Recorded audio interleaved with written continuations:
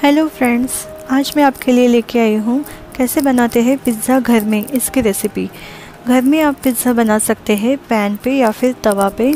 आपको आपके घर में अगर ओवन नहीं है तो आप घर में ही ये पैन पे पिज़्ज़ा बना सकते हैं। उससे पहले मैं आपको बता दूँ, अगर आपने मेरे चैनल को सब्सक्राइब नहीं किया है तो प्लीज़ मेरे चैनल को सब्सक्राइब करिए, जिसका नाम है मिरोन्स न्यू रेसिपी किचन, और बेल आइकॉन पर क्लिक कीजिए। ऑल ऑप्शन सिलेक्ट करिए ताकि आपको मेरे न्यू न्यू अपकमिंग रेसिपीज़ की नोटिफिकेशन मिलते जाएँगे।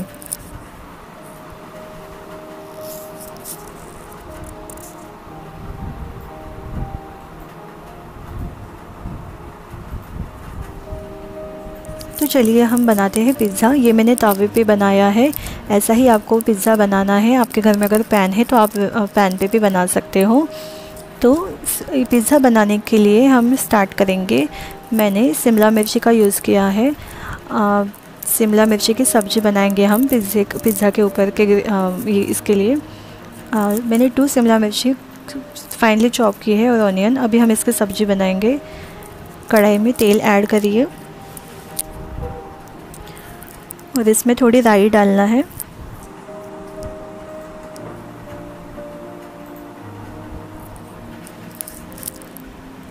उसके बाद इसमें प्याज डालिए।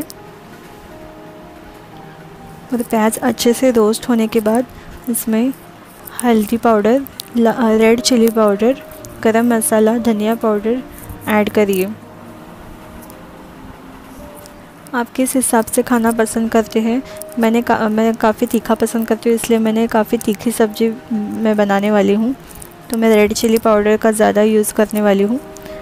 और प्याज को अच्छे से रोस्ट करिए, फिर उसके बाद इसमें टर्मरिक पाउडर सब ऐड करिए।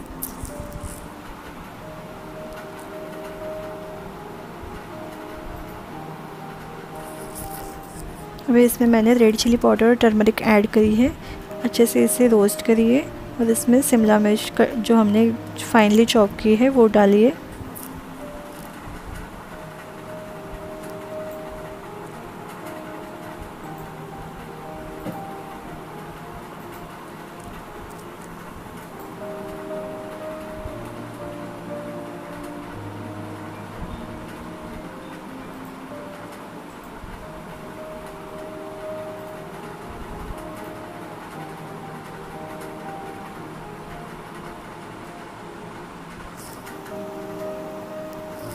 हम पिज़्ज़ा के ऊपर की सब्ज़ी बना के रेडी कर रहे हैं।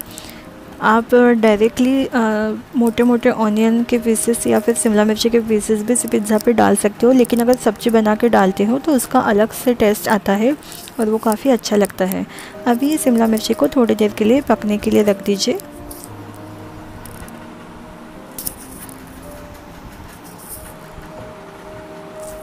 इसमें थोड़ा नमक, धनिया पाउडर ऐड करिए, गरम मसाला ऐड करिए और थोड़ा सा और पकने के लिए रख दीजिए।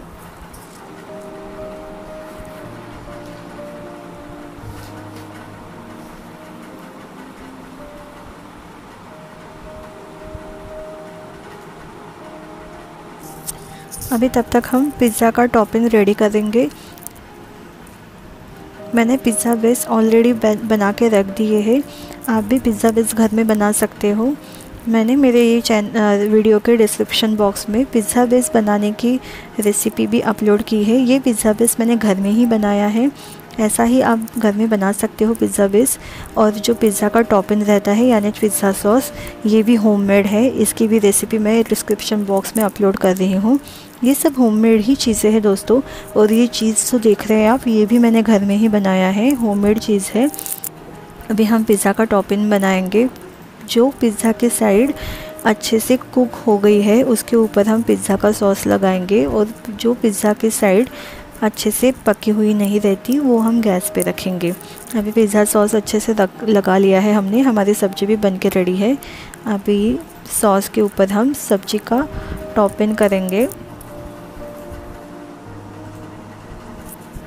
आप ये वीडियो के डिस्क्रिप्शन में सभी रेसिपी के लिंक देख सकते हैं। मैं इसमें पिज़्ज़ा बेस होममेड चीज़ और होममेड पिज़्ज़ा सॉस की रेसिपी के लिंक भी अपलोड कर रही हूँ। अभी ये पिज़्ज़ा बेस के ऊपर पिज़्ज़ा सॉस और सब्ज़ी डालने के बाद जो हमने चीज़ बना के रखा है ऑलरेडी उसको ग्रेट किया है मैंने अच्छे से। उसको हम चीज़ ऊपर से डालेंगे। मैंने पैन को गर्म होने के लिए रखा है और उसके अंदर एक प्लेट उल्टी डाली है।